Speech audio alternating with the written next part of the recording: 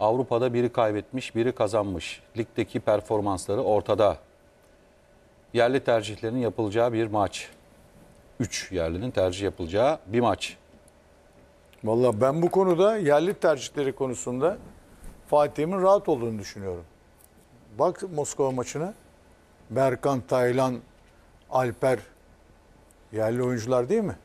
Yani genelde. Bir defa sonra oyunu aldık. Kerem yerli oyuncu, Ömer Bayram yerli oyuncu. Yani Galatasaray'ın böyle bir sorunu yok. Böyle bir sorunu Beşiktaş'ın var. Geçen gün de söyledim aynısını. Yine verelim kadroyu. Son maçın kadrosunu Beşiktaş'ın. Şampiyonlar Ligi. Şampiyonlar Ligi'nin. Ersin dışındaki bütün kadro 10 yabancı. yabancı. Ve şöyle söyleyeyim onun yedek kulübesine baktınız mı? Yedek kulübesinde herkes Türk bir yabancı Montero. O da ilginç. Yani yedek kulübesinde bir Montero var. Geri kalan bütün oyuncular yerli. Yani sahada bir yerli var. Kulübede bir tane yabancı var. E şimdi ben bir şey söyledim.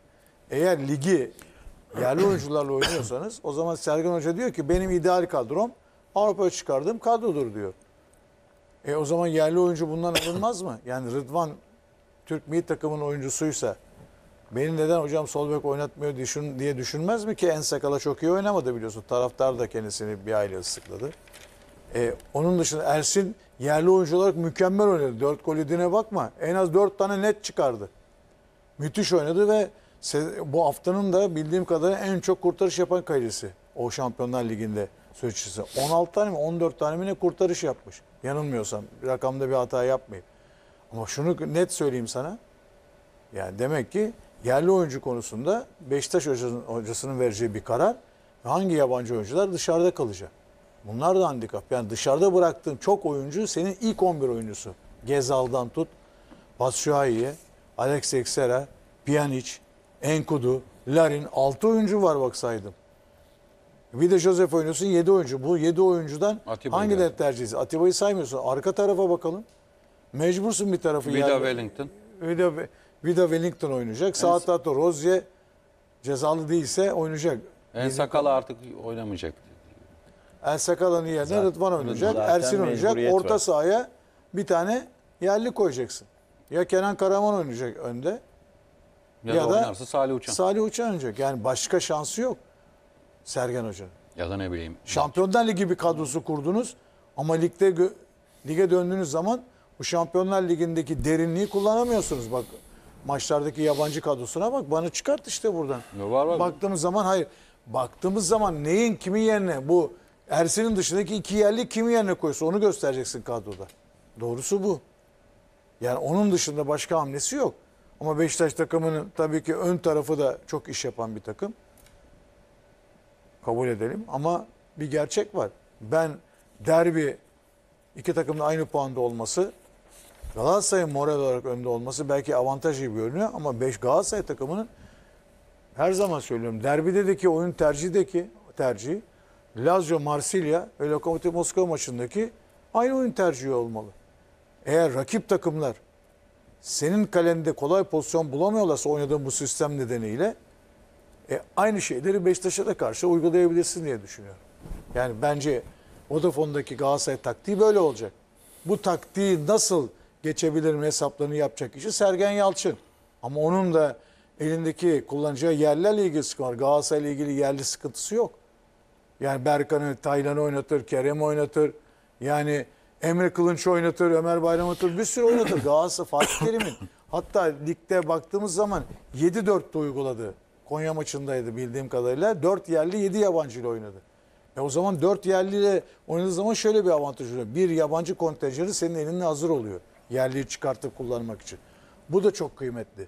8 artı 3 her ne kadar Sergen Hoca'nın dediği gibi absürt bir kararsa kabul ediyorum. Ama bu ligi bu şekilde oynamak gerektiğini düşünürsek o zaman sen planlamanı oyun olarak hocaların 8 artı 3 üzerine yapmaları lazım. Hatta 7-4 üzerine yapmaları lazım ki yabancı ya da yerli kontenjanlarını yani sonradan hamle kontenjanlarını kullanabilesin. Benim için yani derbi zor geçecek görünüyor ama burada Galatasaray'ın oyun sisteminin derbi için çok kıymetli olduğuna inanıyorum. Yani Moskova maçındaki taktikle mi çıkar Beşiktaş maçına Fatih Hoca?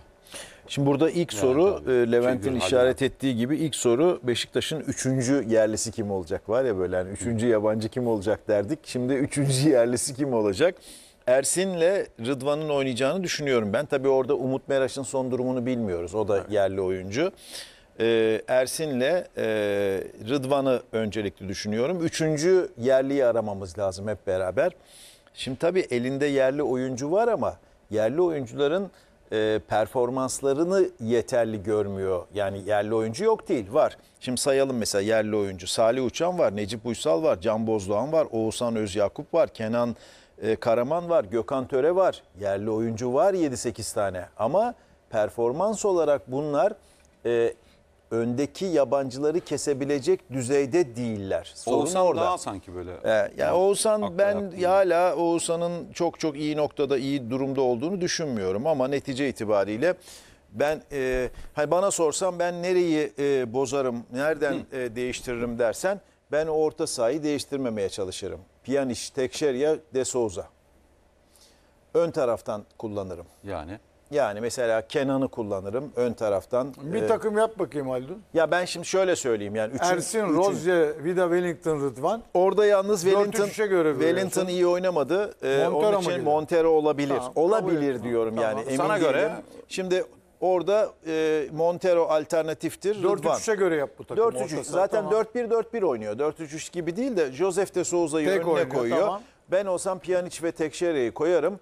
Ee, Kallerinin yerine Gezal'la başlarım. Kallerinin yerine Kenan Karaman Batshuayi gibi. Hmm. Çünkü Güven Yalçın e, diyecektim ama Güven Yalçın son oynadığı lig maçında gerçekten de hani o daha önceki attığı gollerin etkisinde kalarak her topu kaleye e, vurmaya başladı. Yani Güven Yalçın Bireysel ama oynadı. onu da düşünebilir. Güven Yalçın da düşünebilir. Yani çünkü burası şey ya da hamle için belki. Ha, yani var diyorum ya yani oyuncusu var aslında. Fakat e, oyuncular yabancıların önüne geçecek e, performansta değil. Yerliler. Yani yabancıların önüne Yabancılar, geçecek ha, durum, tamam. durumda değiller. Onun için sıkıntı var.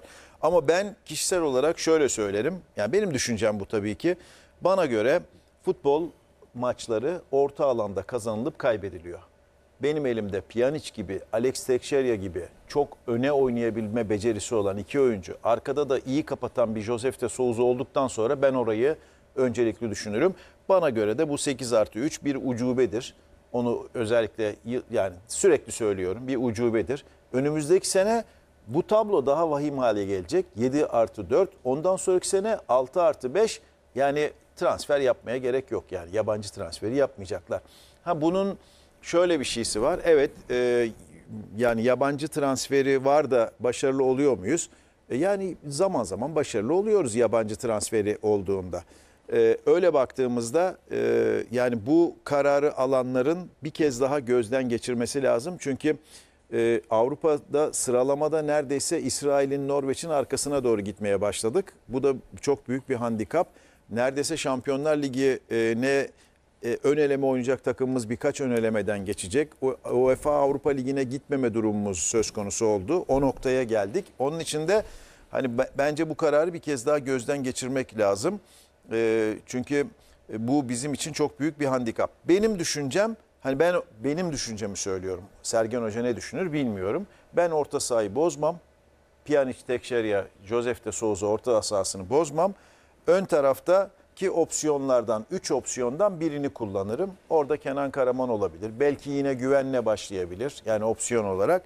Ee, benim düşüncem öyle Beşiktaş'ta. Şimdi Beşiktaş'ın oyun anlayışında şu ana kadar bir değişiklik yok. Beşiktaş'ı konuşurken yani Beşiktaş'tan başladım önce.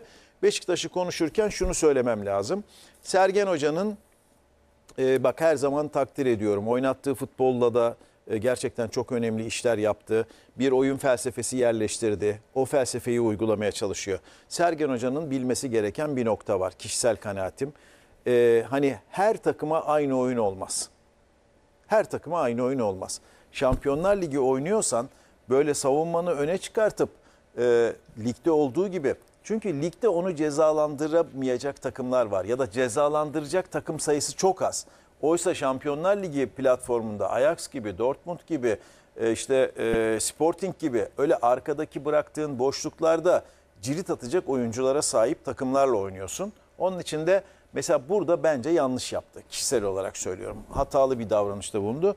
Bu maçta da eğer Sergen Hoca e, bu maçı kazanmak istiyorsa e, dengeli bir oyunu tercih etmesi lazım. Beşiktaş açısından baktığımda tablo böyle.